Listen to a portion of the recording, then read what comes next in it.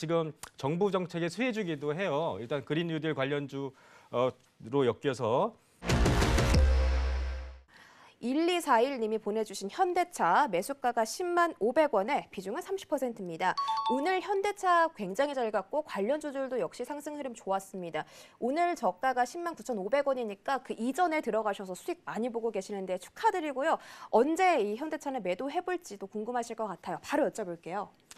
네, 일단 현대차는 그 코로나 영향을 상당히 좀 많이 받았어요. 그래서 이제 자동차 섹터가 상당히 큰 어려움을 어, 겪었는데 최근에 어느 정도 이제 국내에서 이제 내수 시장에서는 그 자동차 판매 대수가 상당히 좀 많이 늘었습니다. 다만 그 해외에 있어서는 아직도 코로나가 확산 중이기 때문에 어, 그런 해외 판매도가 약간 떨어지긴 하지만 어, 제가 봤을 때는 지금 정부 정책의 수혜주기도 해요. 일단 그린 뉴딜 관련주로 엮여서 일단 이 종목은 그 친환경차 특히 이제 수소차 관련해서 그 정의선 어, 어, 그 회장님께서 어, 나름 어, 열심히 지금 먹거리 미래 먹거리를 찾아서 열심히 다른 회사들과 콜라보도 하고 그런 상황입니다. 일단 주식 차트를 잠깐 보시면 지금 매수 단가가 아, 10만 500원인가요? 한 30% 정도 되는데 아, 비중도 괜찮고 매수 단가도 상당히 좋아요. 제가 봤을 때는 이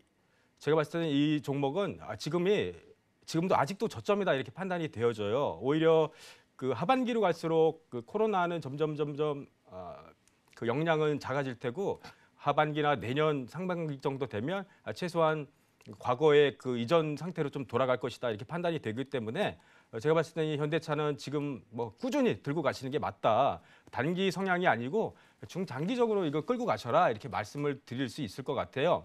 그래서 나중에 제가 봤을 때는 단기적으로 전고점 부근 한 14만 원, 13만 원 부근까지 14만 원 정도까지도 아, 꾸준히 올라갈 가능성이 좀 높다. 이렇게 해서 일단 아, 보유를 하셔라 이렇게 말씀드리도록 하겠습니다.